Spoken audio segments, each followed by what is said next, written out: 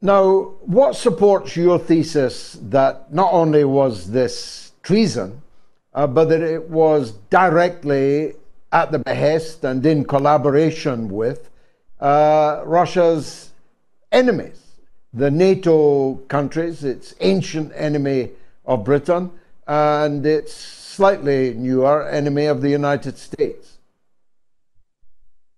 Well, let's just start off with um, some I, I guess we would call it direct evidence uh, in the form of classified um, U.S. intelligence documents that were leaked by this airman uh, that uh, used TikTok or whatever he used to uh, disseminate the uh, the the documents. There's several documents uh, that refer to connections between the Ukrainian intelligence service and Prigozhin. these these that there were actual meetings and liaison dating back to January of this year. Um, so there's there's that evidence there. Uh, but we also have some uh, indirect evidence. So I'll give you an example. The United States, we claim to be concerned about Russia's nuclear arsenal. We claim to desire to have the security that you hear us talk about uh, the dangers we feel exist when Russia deploys nuclear weapons into Belarus, what the security of these weapons are going to be.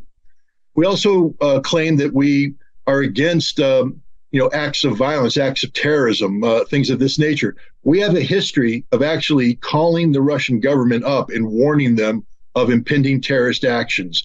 Uh, most recently, uh, a telephone call from the United States stopped a terrorist event in St. Petersburg.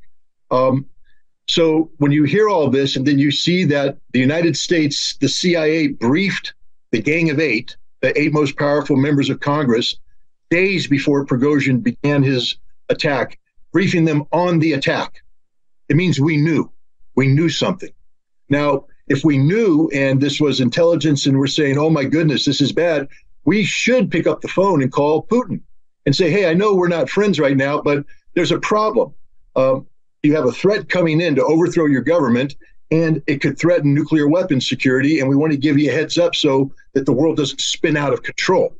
But we remain silent. And it's not just silent, we're now being told that Congress was briefed by the CIA that we expected the Prigozhin mutiny to be extremely bloody, that we expected extreme violence.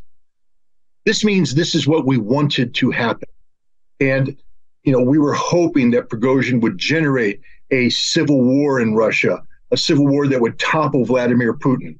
So I think when you look at the direct evidence in the form of the documentation and the indirect evidence based upon behavioral patterns, uh, as an intelligence analyst, I have to tell you, if you slid that across my table, uh, the assessment that I'd be giving back to you is that it's more likely than not the United States was involved in the Prigozhin mutiny.